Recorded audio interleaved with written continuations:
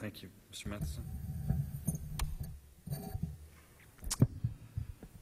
Mr. Chairman, Congressman Tierney, and honorable members of the subcommittee, on behalf of the 20 million people in the New York metropolitan area who live and work in the shadow of Indian Point, I thank you for the opportunity to provide testimony on this crucial public health and safety issue. Mr. Chairman, I'm especially indebted to you for hosting this hearing and providing leadership in the state of Connecticut.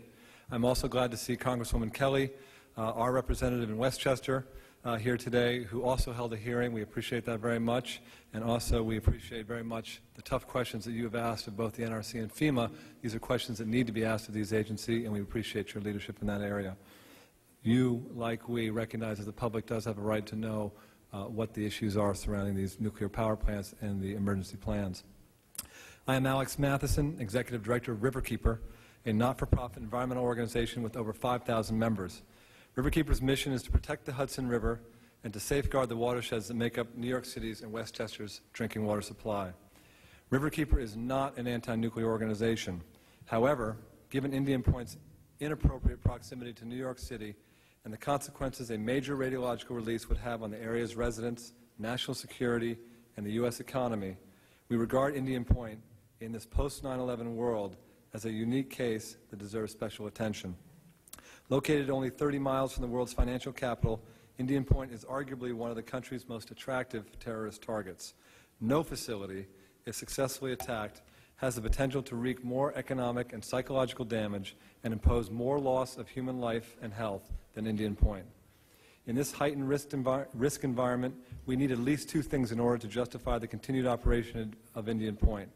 Plant security sufficient to repel a sophisticated terrorist attack, and an emergency plan that actually works. Unfortunately, at Indian Point, we have neither. In this post-9-11 threat environment, the NRC and FEMA are scrambling. Unfortunately, they're scrambling to protect the status quo and not public safety. It is troubling that agencies are not using language that suggests that they are asking the more basic question here. Are these emergency plans fundamentally adequate? And if not, what do we need to do about that? And should we be considering shutting down Indian Point again, considering its close proximity to New York City and a dense population? I asked the NRC, if not Indian Point, then what circumstances would compel the NRC to issue a shutdown order? I, too, am alarmed that never in its history has it ordered the shutdown of a nuclear reactor. There has to be instances where it made sense to do so. In January 2002, Entergy commissioned an internal review of security at Units 2 and 3. The review, known as the Logan Report, revealed that only 19% of the guards believe they can repel a conventional sabotage event, let alone a 9-11 type attack. Guards admitted they are underqualified and undertrained with respect to gun handling, physical fitness, and training. Guards reported that qualifying exams for carrying weapons are often rigged. Security drills are carefully staged to ensure mock intruders fail. Yet one security guard was able to place mock explosives throughout the spent fuel pool buildings three times, all in less than one minute. In addition to weak ground forces, Indian Point is virtually unprotected from either a water-based or aerial attack. There is no regular Coast Guard presence. The only other protection is a structureless security zone enforced by a buoy tender and an old whaler piloted by two day reservists. The NRC admits that the only way to protect nuclear plants from air attacks is by improving national airport security. However, in response to a 2.206 and 2.206 petition filed by Riverkeeper, the NRC acknowledged there was a gap between security at Indian Point and at our nation's airports. In December, the NRC took the astonishing step of issuing a decision declaring the risk of terrorism will not be considered in issuing or reviewing plant licenses. The NRC claims, quote, they have no way to calculate the probability portion of the equation, except in such general terms as to nearly be meaningless. In other words, because you can't accurately measure the threat of terrorism, it's okay to ignore it in determining whether nuclear plants are safely sited and protected. That may be the most bizarre and dangerous rationale for inaction I have ever heard coming from a federal agency. The NRC earlier testi testified that that, that they are not responsible and, and, and the plant owners are not responsible for protecting against enemies of the U.S. Well, I would ask the question, if that's the case, who is responsible and which agency of the government, if not Entergy, is responsible for protecting Indian Point? The New York Observer did an article last year uh, where they asked all of the, they polled all of the federal agencies, uh, the Defense Department, uh, FBI, CIA, and others, and Entergy, who was responsible ultimately for aerial protection, uh, and they all pointed fingers at each other, and none could say definitively that they were responsible. On Friday, James Lee Witt Associates issued the final draft of a State Commission report in which it criticizes virtually every aspect of Indian Point's emergency plan. The report concludes that, quote, the current radiological response system, system and capabilities are not adequate to overcome their combined weight and protect the people from an unacceptable dose of radiation in the event of a release from Indian Point, especially if the release is faster or larger than the typical REP exercise scenario. Last month, in an attempt to dismiss Witt's devastating conclusions, FEMA issued its own report, first claiming that Witt has raised nothing new, then, without, then trying without success to rebut Witt's findings. Without ever substantiating its criticism of Witt's arguments, FEMA somehow reaches the conclusion that there is not a single deficiency in Indian Point's emergency plan. Astonishingly, FEMA insists that there is no difference in responding to a radiological release caused by an operational failure and one caused by a terrorist attack. However, Witt has a distinctly different view. He cites as examples terrorists simultaneously targeting roads and bridges to impede evacuation, attacks on responders, and spontaneous and shadow evacuation spurred by public panic.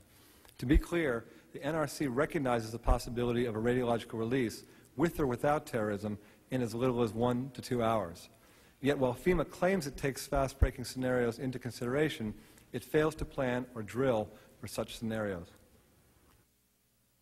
FEMA sidesteps those flaws that Witt identified as particularly serious, the congested road network and population densities around Indian Point, both of which are fixed givens that cannot be altered. FEMA all but ignores emergency scenarios involving a spent fuel pool disaster. FEMA overlooks Witt's contention that a radioactive plume may travel well beyond the 10-mile EPZ.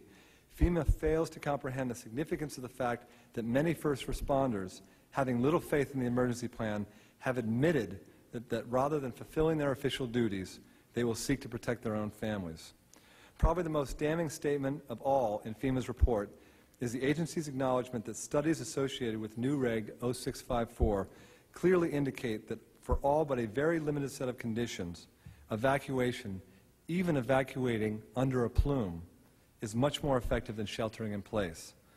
Clearly, if you can't shelter, if you can't evacuate, you can't protect the people. So what has FEMA's response been to the overwhelming evidence that Indian Point's plan cannot meet our current needs? Finger pointing, bullying, and indecision. When counties declared that they could not, in good conscience, certify the plans were up to date, FEMA wrote a letter to the state instructing them to ignore the counties and certify the plans over county objections. When finally realizing it could not provide reasonable assurance that the plan works, FEMA arbitrarily tacked on a 75-day grace period to the 120 days the state is normally given to comply with certification requirements. We worry that all the buck passing and delays are being used by FEMA to give them time to figure out how to certify a patently unworkable plan. We agree with Mr. Witt that the plan should be improved. Certainly, if you make the improvements that he recommends in his report, that will help to address a minor uh, accident of the plant. But we also agree that the plans cannot be fixed to deal with the post-9-11 world. Chairman Shays, in conclusion, I urge you and the rest of the committee to pay close attention to FEMA and the NRC as this process unfolds. If I may, I would like to make, briefly make several spe specific recommendations to the committee. Regarding emergency planning, instruct FEMA to stop delaying and immediately withdraw its approval of Indian Point's emergency plan in light of overwhelming evidence and unanimous recognition by independent experts, elected officials, and the public that the major deficiencies in the plan cannot be repaired. In case the committee is not aware, and I think that uh, FEMA made reference to it earlier, or the NRC, FEMA has been faced with this issue in the past and acted appropriately. In the aftermath of Hurricane Andrew in 1992, FEMA not only temporarily withdrew its approval of the Turkey Point's, of Turkey Point's emergency plan, but ordered the Florida nuclear plant to shut down until reasonable assurance could be made that the plan would actually work. Given the terrorist threats and clear deficiencies with Indian Point's emergency plan, the situation in New York is clearly more serious. Uh, Congresswoman Kelly, I would encourage you, uh, recently uh, a, a, theory uh, was proposed uh, in Congresswoman Lowey and uh, Congressman Engel's uh, hearing last week, that it might be the case that FEMA uh, and the local counties, in reorganizing the emergency plan, actually has essentially quarantined Westchester, whereas the evacuation routes used to go north into Putnam and east uh, into Connecticut and so forth, all the routes go south and away from the plant, but are contained within Westchester. Uh, Who knows what that means, but it's an interesting, it's interesting that rather than sending people away to less populated areas, they're actually sending you down towards uh, more populated areas, and in fact, where the winds typically are blowing. Uh, Regarding Indian Point security, introduce legislation that would Mr. require the energy me. hardening of on-site storage. Matz, we're- if you could Yeah, I'm. I'm- I'm winding up, I'm sorry.